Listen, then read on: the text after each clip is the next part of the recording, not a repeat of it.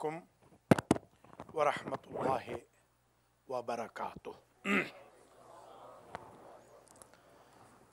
अऊज़ु बिल्लाहि मिनश शैतानिर रजीम बिस्मिल्लाहिर्रहमानिर्रहीम अल्हम्दुलिल्लाहि रब्बिल आलमीन बारे इल खलाइक़ अजमाइन वल आक़िबतु लिअहल तक़वा वल यकीन अस्सलातु वस्सलामु अला सय्यदिल अम्बिया वल मुरसलीन सैदना मौलाना अबिल कासिम मोहम्मद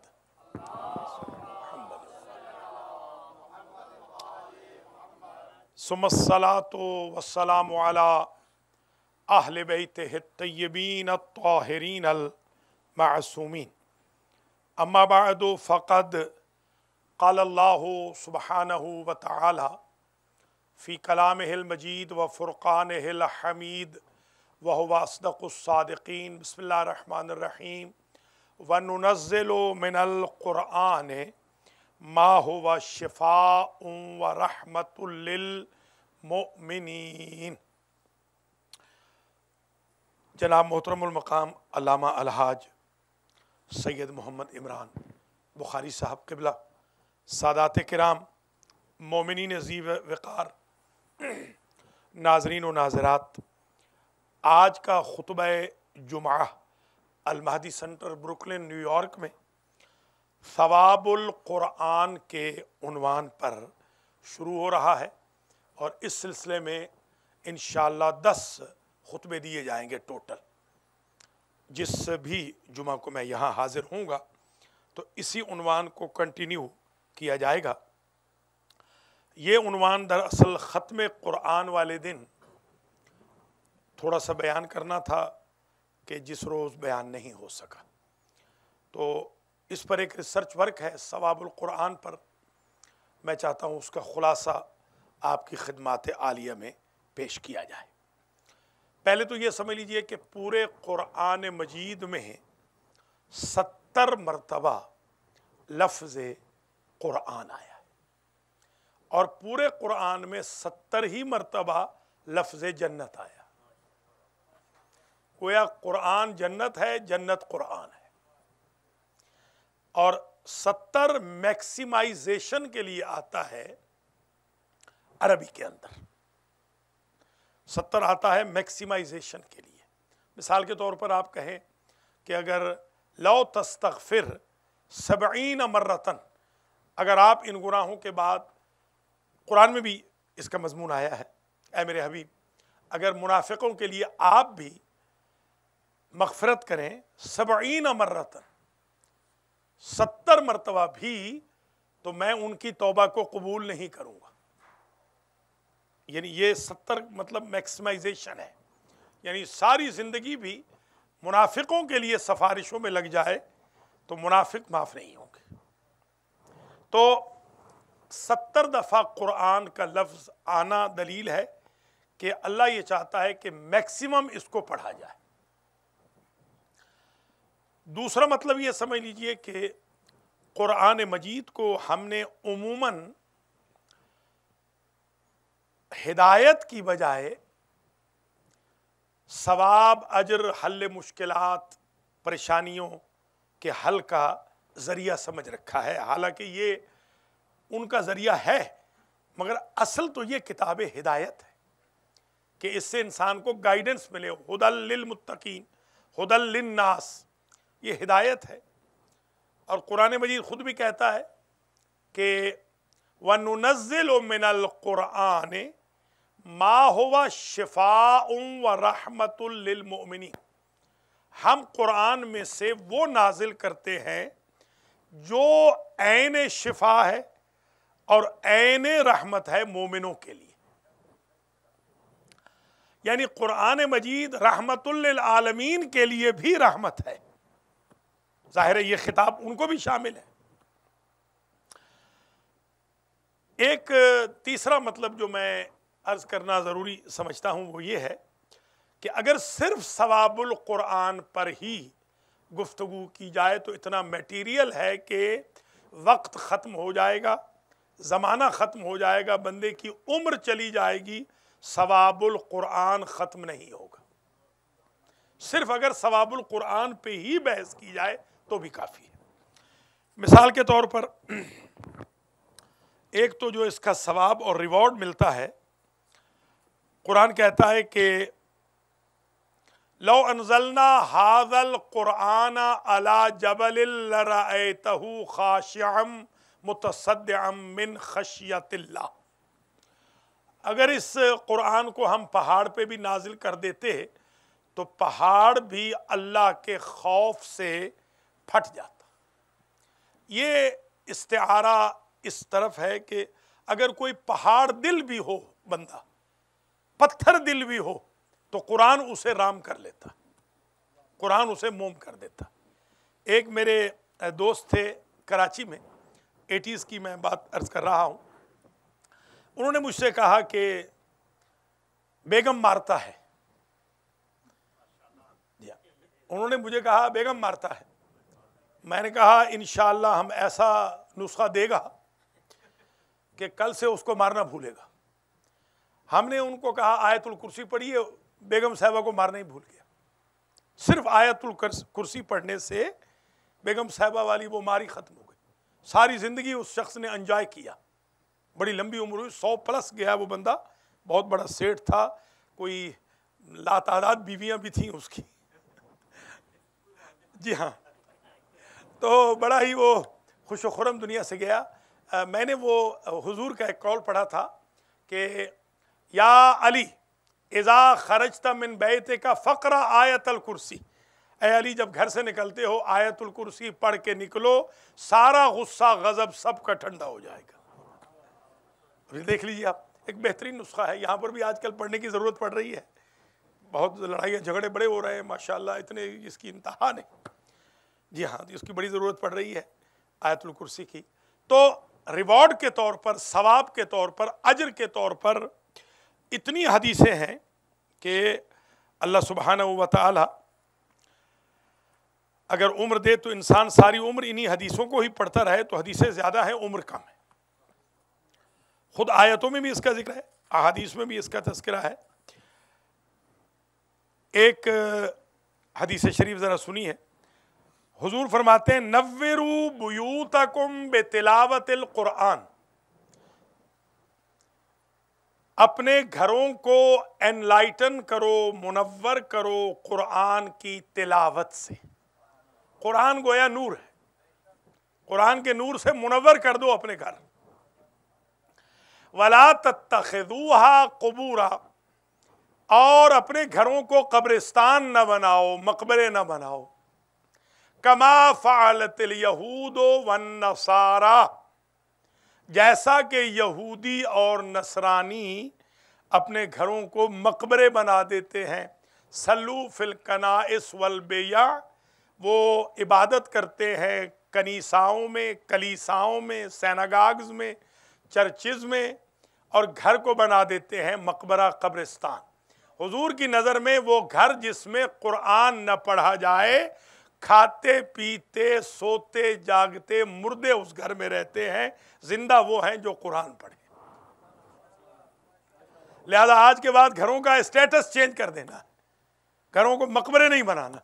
कब्रिस्तान ग्रेवयार्ड नहीं बनाना सेमेट्री नहीं बनाना। बल्कि उनको जिंदों की आमाजगाह बनाना है। कुरान पढ़ के ये हुजूर करीम का इरशाद गिरामी है। और एक जो ज़बरदस्त नुस्खा मैं अर्ज़ कर दूँ। इतफ़ाक़ ये है, ये भी हमारी अजीब खुशकस्मती समझें या खैर बख्ती समझें। जिन साहिबान ने ये उनवान दिया है, वो दोनों आज नहीं आए। और उनके मैसेज भी आ गए कि आज हम नहीं आएँगे। हम गैब पर क्योंकि ईमान रखते हैं? पूरा रमज़ान मैंने गैब पर ईमान रखते हुए गायबाना स्पॉन्सर्स के लिए दुआ की, और अब भी गायबाना तौर पे मैं ये खुतबा शुरू कर रहा हूँ। तो जिन्होंने टॉपिक दिया है वो रात के दो बजे तक तो यहाँ थे, मगर आए नहीं हैं इतफाक से। जी हाँ। तो अल्लाह ताला उनको भी जजाय खैर दे और जी हाँ जहाँ उनकी मजबूरी है, उनकी मजबूरियाँ ख़त्म और रिस्क बहुत हो।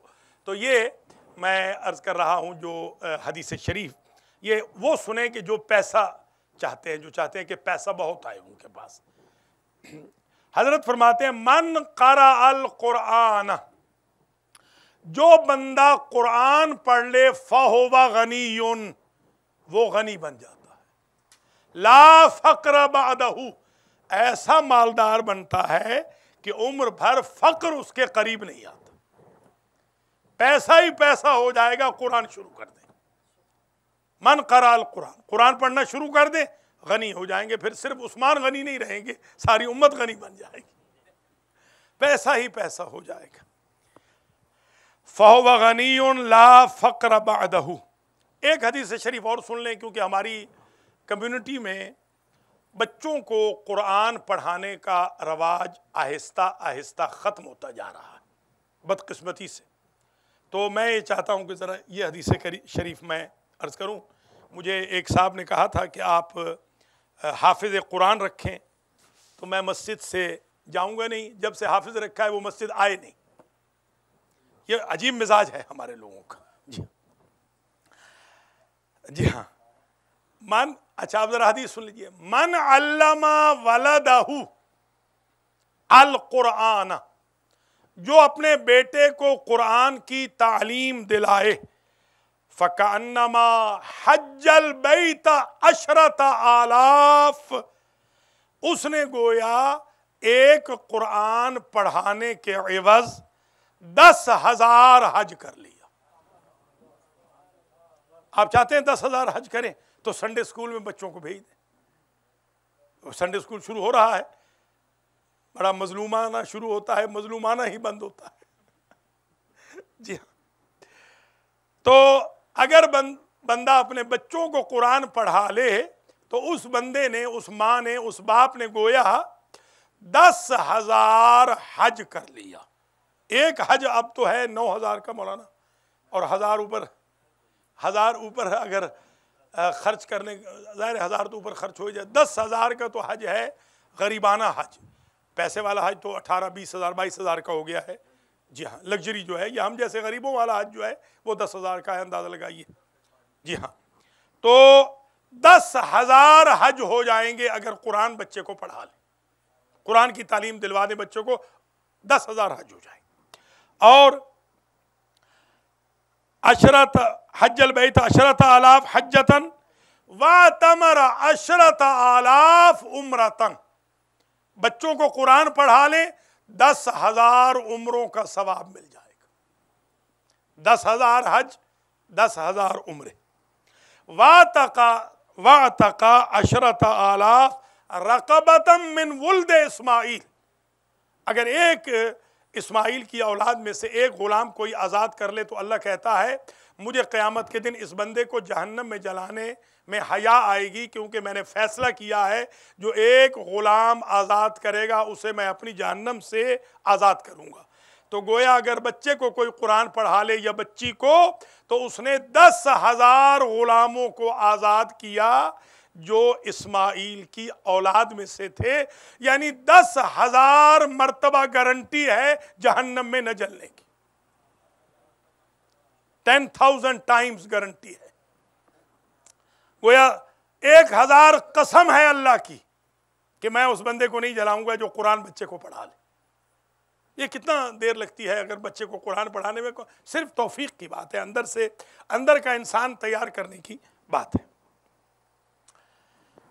हजूर फरमाते फजल कुरान अला साइर कलाम का फजल अला खल्क कुरान की फजीलत ऐसी ही है सारी किताबों पर, जैसे अल्लाह की फजीलत है उसकी मखलूक पर। कितने खुशकिस्मत है आपके, आपको अल्लाह ने वो कुरान दिया है कि जिसका मुकाबला पूरा कलाम इलाही भी नहीं कर सकता। सारी बाकी किताबें भी नहीं कर सकती। कलाम के ऊपर अगर फोकियत है तो सिर्फ़ और सिर्फ़ कुरान को है। वो हदीस शरीफ मैं मुकम्मल अर्ज़ कर दूँ, जो मैंने ना मुकम्मल कही थी। या अली, इज़ा खरज तमिन मंजिल का तुरीद हाजतन फ़करा आयतल कुर्सी फ़ैन हाजत का तुकजा। या अली, जब कोई हाजत हो और घर से निकल रहे हो, उस हाजत के लिए आयतुल कुर्सी पढ़ के चले जाओ, मैं गारंटी देता हूँ, आयतुल कुर्सी के एवज हाजत पूरी हो जाएगी। कितना शॉर्टकट अल्लाह ने बता दिया है। अब एक हदीस शरीफ और सुन लीजिए। फ़ैज़ल तबसा, ये मकदाद ने पूछा, मकदाद, जो मकदाद इबन असद, असवद, उन्होंने पूछा कि या रसूल अल्लाह आपने फरमाया कि आखिरी ज़माने में एक आफत आएगी, मुसीबत आएगी, तकलीफ़ें होंगी, रंज होंगे, अलम होंगे, मौत ही मौत होगी, सैलाब ही सैलाब होंगे, आंधियाँ ही आंधियाँ होंगी, जुल्म सितम होगा फ़क्र फाका होगा, गुर्बत ही गुर्बत होगी कतरहमी ही कतरहमी होगी, हर तरफ़ मुश्किल ही मुश्किल होंगी। तो हम क्या करें? आपने फरमाया, फ़ैज़ल तबसतिल, फ़ैज़ल तबस अलैकुम।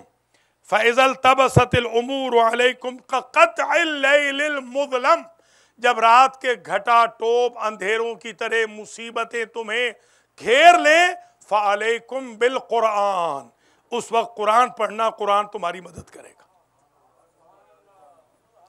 तकलीफें जितनी भी हो, तकलीफें जितनी भी बड़ी हैं, कुरान उन सबसे बड़ा है। कुरान उन सब का इलाज है। फैज़ल तबसतिल उमूर अलैकुम कक़तलम फ़लैकुम बिल कुरान फ़िन्नहु शाफ़िउन मुशफ़ा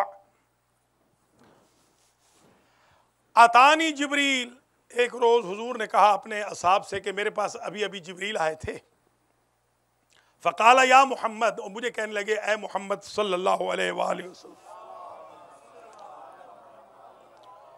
सयकून फ़ी उम्मत का फितना। ये आज फितना देख ले आप। एक एक सौ बंदा मारा जा रहा मशरक मगरब में। अब तो कोई तमीज़ ही नहीं रही।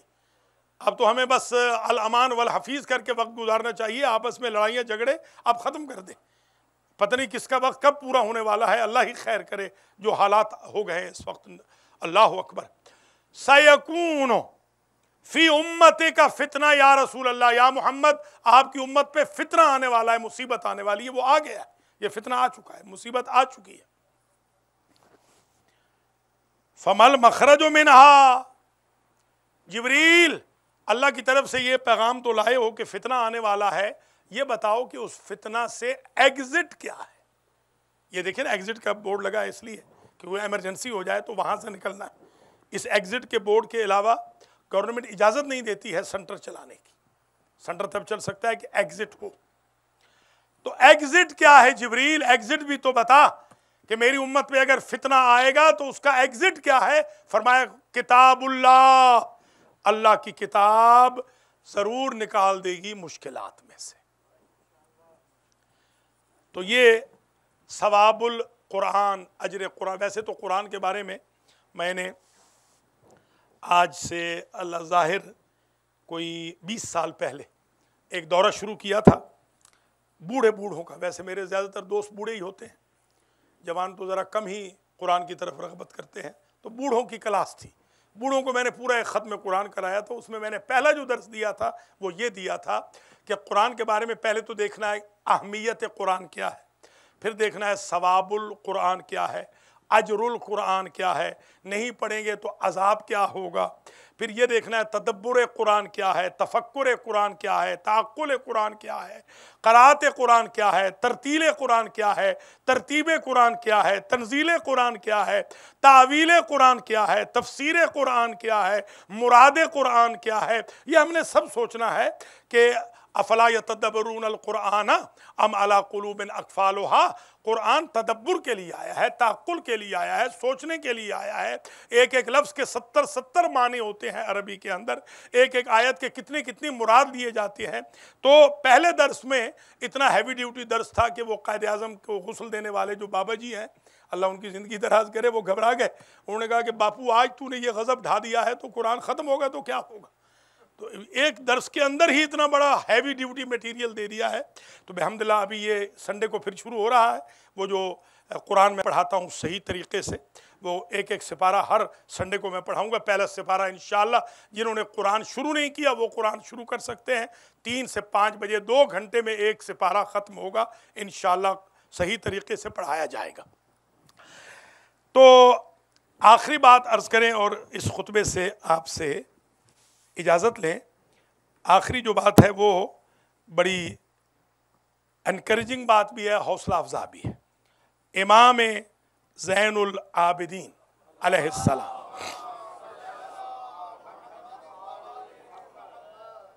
फरमाते हैं, लो माता, मम बैनल मशरक वल मगरब। फरमाते हैं, मशरक व मगरब में सारी मखलूक खुदा मर जाए, ख़त्म हो जाए कोई बंदा मेरे अलावा रुए ज़मीन पर बाकी न रहे। लमस्त हश तो बादल कुरान। कुरान मेरे पास है, मुझे कोई डर ही नहीं लगेगा। कुरान ही मेरे लिए काफ़ी है वाशत से बचाने के लिए। हुजूर ने जो फरमाया था, इन्नी तारिक फ़ी को मुस्तकलैन किताब अल्लाह व इतरती आहलबैती वो यहाँ पता चल रहा है। इतरत ये है और किताबुल्ला कुरान है। बदकिस्मती ये है कि हमारे मुसलमानों के एक फ़िरक़े ने कुरान पकड़ लिया और उन्होंने अहल बैत को छोड़ दिया। इग्नोर कर दिया। ये तो नहीं कहता बिल्कुल छोड़ दिया, वो बिल्कुल छोड़ने वाले तो वो काफिर हैं, वो तो दायरा इस्लाम से ही खारिज है। और एक फ़िरके ने अहल बैत को पकड़ लिया, कुरान को इग्नोर कर दिया।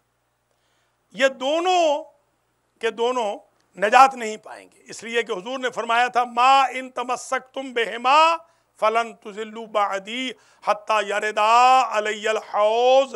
अगर दोनों से तमस्क रखोगे तो गुमराह नहीं होगे। एक से नहीं, जिन्होंने कुरान को पकड़ा है, अहल बैत को इग्नोर किया है, उनकी भी नजात नहीं होने वाली। और जिन्होंने अहल बैत को पकड़ लिया है, कुरान को इग्नोर किया है, उनकी भी नजात नहीं होने वाली। सच्चे रसूल ने नजात का मैार दोनों को बताया है कि कुरान भी रहे और अहल बैत भी रहे। मेरी इतरत से भी तमस्सुक रहे और कुरान किताब खुदा से भी तमस्सुक रहे। अल्लाह मुझे और आपको तोफ़ी दे कि हम कुरान मजीद को पढ़ सकें, समझ सकें, अमल कर सकें, अपने आप को खुदामुल कुरान में शुमार करवाएँ और ग़ुलामान मोहम्मद आल मोहम्मद में शुमार करवाएँ और अल्लाह ताला आज के इस खुतबे के अवज़ हम सब के मरहूमिन की मगफ़रत फरमाए। हम सबको अपने अपने मरहूमिन के लिए कुरान पढ़ने की, कुरान ख़त्म करने की तोफ़ी के खैर, मरहमत फरमाए। हम सबको डेली बेसिस पे आयतुल्कुर्सी और सूर यासीन सूर वाक़ फ़ातिहा अखलास चारों कुल वगैरह पढ़ने की तोफ़ी के खैर, मरहमत फरमाए। बसमीम वल असर इन इंसान लफ़ी खुसरदीन आमन वामिल सालहात व तवासो बिलहक़ व तवासो बिसब्र बिस्मिल्लाह या अल्लाह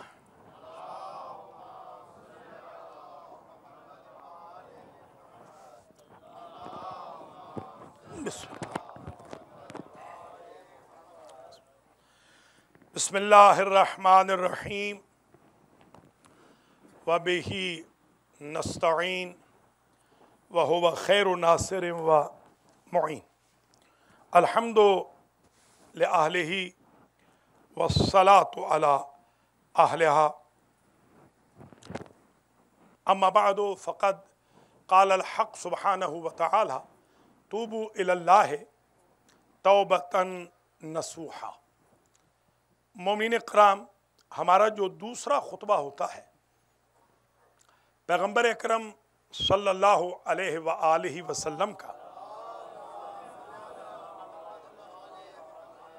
तरीक़ा ये था कि आप दूसरे खुतबे में लोगों को तौबा की तरफ़ दावत देते थे कि जुमा की इस मुक़दस सात में लोग तोबतन नसूहा की किश्ती पर सवार हम सबसे क्योंकि डेली बेसिस पे गलतियाँ सरजद होती हैं। खा वो हकूक़ुल्ला की बाबत हो। खा वो हकूक़नास की बाबत हो। खा वो लसानी तसब की बाबत हो। खा वो रीजनल प्रेजुडिज़म की बाबत हो। खा वो गीबत की सूरत में हो। खा वो तहमत की सूरत में हो। दिल आज़ारी की सूरत में हो।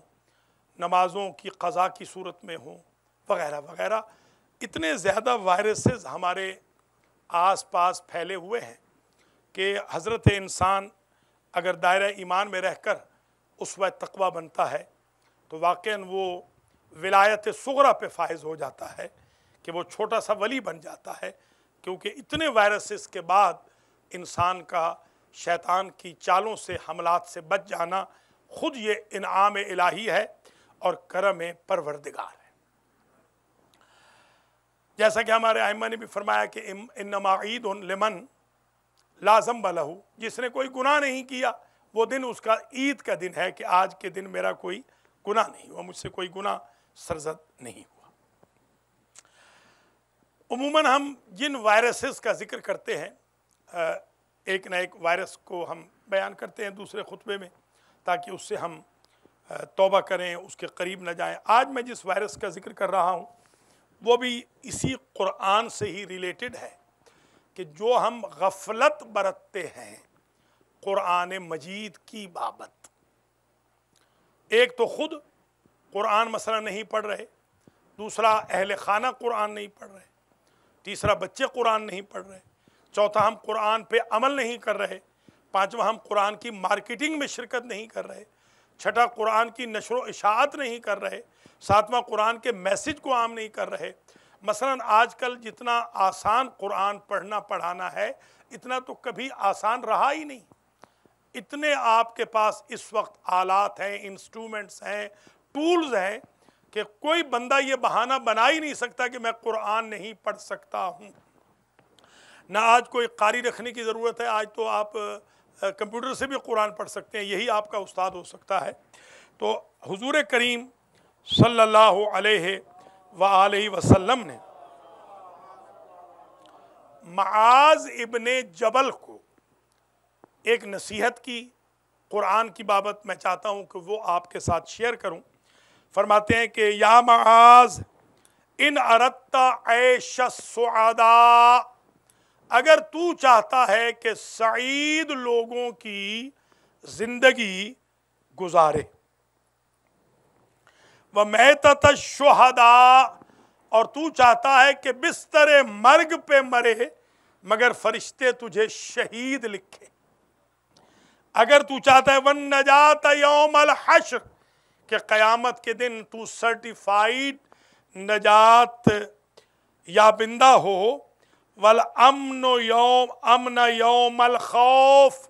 और अगर तू चाहता है कि खौफ के दिन अमन तेरे दामन गिर हो, वन नूर यौम जुलमात और जुल्मतों के दिन, अंधेरों के दिन अल्लाह तुझे नूर से मुनवर करे। वजिल यौमल हरूर।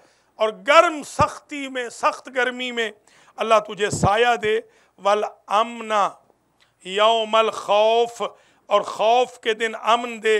व नूर यौमत वदिल्ला यौमल व सुरूरा व रैया यौमल अतश और जिस दिन लोग प्यासे खड़े हों, तू भी प्यासा हो, तुझे सेराबी मिल जाए। वल वज़न यौमल खिफ़त जब लोगों के नाम आमाल खफीफ हों, तेरा नाम अमाल वजीन और शकील हो। वल हुदा यौम दलालत और जिस दिन लोग गुमराही में हों तो उस दिन हिदायत में हो। फदरुसल कुरान तो कुरान का दर्स पढ़ना शुरू कर। देखा आपने कितने फ़ायदे हैं दरस कुरान के? ये सिर्फ़ मौलाना को खुश करने का नहीं है। मौलाना तो बेचारे कोशिश करेंगे, कढ़ाई गोश्त भी लाएँगे, पुलाव भी लाएँगे, बिरयानी भी लाएँगे, किसी ज़रिए से ताकि लोग आएँ। फदरुसल कुरान, ये फ़ायदे हैं कुरान के दर्स में। फ़िन्नहू ज़िक्र माज, एक तरफ़ तो दरस कुरान में ज़िक्र रहमान होता है कुरान पढ़ने में, वह हिरजुम मिन शैतान, और दूसरी तरफ़ शैतान से दूरी हो जाती है। शैतान दफ़ा दूर हो जाता है। व रुझान फिल मीज़ान, और मीज़ान आमाल में आमाल नामा वजनी हो जाएगा, नेकियाँ बढ़ जाएगी। ये एक एडवाइस जो हुजूर करीम की है अगर यही हम जहन में रखें तो कम अज़ कम जिस दिन दर्स हो, ख़ुद भी आएँ, बच्चों को भी लाएँ, ताकि बेहतरीन अंदाज में हम कारी कुरान बने। ये तो एक वायरस था जिसका मैंने ज़िक्र मुनासिब समझा। एक वायरस मैं और ज़िक्र करना चाहता हूँ, ये आजकल हमारी कौम में लग रहा है और ये बढ़ता जा रहा है। पहले हमने कभी सुना नहीं था जब हम बच्चे थे तो कि मजलसों के अंदर मजालस हुसैन के अंदर, मिसाल के तौर पर उलमा को टोटली तौर पर इग्नोर कर दिया जाए ये आज यहाँ ट्रेंड शुरू हो गया है कि मजालस हो रही है अज़ादारियाँ हो रही हैं, शब्बेदारियाँ हो रही हैं, मगर नमाज़ नहीं हो रही, ज़ाहिर आलमी मौजूद नहीं है, नमाज़ नहीं हो रही। जानबूझकर उलमा को दूर किया जा रहा है। ये मैं आपको वार्न करूँगा, आपको जब भी कोई मजलिस में बुलाए तो आप कह दीजिए कि भाई नमाज़ होगी, वहाँ पर आलिम दीन होंगे। इसलिए कि आल मोहम्मद का जो मज़हब है, वो आप नहीं बनाएँगे, बल्कि वो आल मोहम्मद ने जिस तरह बनाया है, उसको ऐसे ही चलाना होगा। नमाज़ को इग्नोर करके मसलन ये जो पढ़ने वाले हजरात हैं, मैं उनसे कहूँगा, ये शिकायत आई है कि पढ़ने वाले जितने भी जाकरीन हैं, वो बिस्मिल्लाह बिल्कुल नहीं पढ़ते। तो कम अज़ कम बिस्मिल्लाह से शुरू करें आप कलाम इलाही को, बिस्मिल्लाह से शुरू करें। नोहा पढ़ रहे हैं तो भी बिस्मिल्लाह से शुरू करें, क्योंकि कुल्ल अमर ज़ीबालमजुबदा बिस्मिल्ला है फ़ाहबा अबतर। जो अमर भी बिस्मिल्लाह से शुरू ना किया जाए, वो पाए तकमील तक नहीं पहुँचता। तो आप जो भी काम शुरू करें, आपने चार हद तक हमारे नबी करीम ने आयमा ने कहा कि इज़ा अनशत शेरन, तूने अगर एक शेर भी कहना है तो बिस्मिल्लाह से शुरू कर। बिस्मिल्लाह पहले पढ़े और बाद में हाँ अलबत्त बिस्मिल्लाह लंबी ना करें ख्याल रखना है। हाँ बहुत लंबी नहीं करनी कि लोग हाँ बिस्मिल्लाह बस पढ़े सिर्फ़, बिस्मिल्लाह पढ़ते ही फ़ौर दूसरा काम शुरू कर दे। तो अब ये एक वायरस जो हमारी कौम में शुरू हो रहा है, मैं चाहता हूँ इससे भी मुतवजह करूँ। आखिरी बात जो होती है, उमूमन करंट इशूज़ के बारे में होती है। फ्रांस में जो अभी कल हलाकतें हुई हैं, इन पर हम ताज़ियत पेश करते हैं उन मरहुमीन के ख़ानदानों को। और जो अमेरिका के अंदर भी टेररिज्म हो रहा है, पुलिस वालों समेत जो यहाँ पर भी टेररिज्म शुरू हुआ, इसको भी हम कंडेम करते हैं। और जो ईस्ट में वेस्ट में, पाकिस्तान में, शाम में, इराक़ में बहरीन में, यमन में, अफ़गानिस्तान में जो टेररिज्म हो रहा है, उसको भी हम कंडेम करते हैं। और जो हमारे शियान अली की मुहबान अहल बैत की जो टारगेट किलिंग हो रही है, डेरा इसमाइल ख़ान में हो या कराची में हो या और दीगर पारा चनार वगैरह में, हम उसको कंडम करते हैं। और क्योंकि ज़ाहिर है कि ये जन्नतुलबकी का ये अशरा गुज़रा है और आज इन प्रोटेस्ट भी है। उसमें भी मैं आपसे गुजारिश करूँगा कि ये आपका कम अज़ कम लोकल प्रोटेस्ट है, जो लोग वाशिंगटन गए हैं। हम उनको भी अप्रिशिएट करते हैं। अल्लाह उन्हें अजर दे, जजा दे, आइंदा भी जाने की तोफ़ी दे। आर्गेनाइज़र को भी अजर जजील अता फ़रमाए। यहाँ पर भी जो ऑर्गेनाइज़र हैं, उनको भी अजर मिले। आप मेहरबानी कीजिए एक दो घंटे, तीन घंटे की जो हाज़री है, ज़रूर दीजिए। चार बजे से सात बजे तक ये शुरू होगा। ये जो जन्नतुलबकी की तामीर है, ये हमारा ख्वाब है। हमने इनहदाम जन्नतुलबकी को कंडम करना है और तामीर जन्नतुलबकी की होप के साथ जलसे भी करने हैं, जुलूस भी निकालने हैं, मजालस भी। कल शब में भी जो मोमिन आए थे, मैं उनका बड़ा शुक्रगुजार हूँ और मोमिनत, कल भी मजलिस, माशाल्लाह बेहतरीन हुई थी। आपसे मैं ये गुजारिश करूँगा कि इस सिलसिले को, इस प्रोटेस्ट को, इस एहतजाज को कंटिन्यू रखिए, बल्कि साल भर कंटिन्यू रखिए, ताकि जो आइम बकी हैं, उनसे भी हम दुआएँ लें, रसूल पाक से भी, बीबी पाक से भी, ख़ानदान रसूल से, जो असीरान करबला की बीबियाँ वहाँ दफन हैं, उन सबसे हम दुआएँ लें। अल्लाह ताला आप सब का हामी नासिर हो, और आखिर में मैं गुजारिश करूँगा कि अपने सेंटर को फाइनेंशियली सपोर्ट कीजिए, क्योंकि अभी तक जो टारगेट था हमारा रमज़ान मुबारक का, वो हम पूरा नहीं कर सके हैं। तो जो पर्सनल लोन्स हैं, वो भी बाकी हैं। उनमें से आपके ताउन से थोड़े से लोन पे हुए हैं और थोड़े से बाकी हैं। जो मंथली आपकी मेंबरशिप है, वो भी मेहरबानी फरमाइए, वो भी इनायत कीजिए। अल्लाह करीम आप सबका हामी नासिर हो। अल्लाह आप सब की हाजतों को पूरा करे। और आज चौधरी मोहम्मद रज़ाक गुजर साहब ने जो स्पॉन्सर किया है लंच, अल्लाह ताला इनके वालदेन शरीफ हैं इनके दोनों भाइयों चौधरी हाजी रहमत ख़ान, राज बेगम चौधरी मोहम्मद नवाज़, चौधरी मोहम्मद आरिफ को इसका सवाब ईसाल फरमाए और उनके सगायर कबायर से अल्लाह दरगुजर फरमाए और दीगर ममिन मोमिनत को भी तोफ़ी दे कि वो आइंदा जुमात के लंच को स्पॉन्सर करें और सेंटर के साथ भी मुआमनत करें और अल्लाह ताला हम सबको तोफ़ी दे, आपस में हम सिला रहमी के साथ, महब्बत और अखुवत के साथ रहें, रंजिशों को ख़त्म करें और अल्लाह वेस्ट और ईस्ट में जो हालिया मुश्किल हैं, इन मुश्किल से हमें नजात, इनायत फरमाए।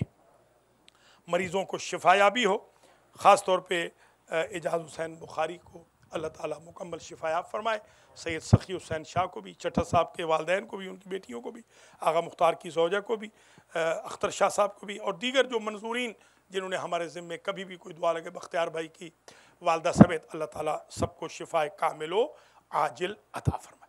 असलात वसलाम रसूल करीम सैदना व मौलाना अबिलकासम महमद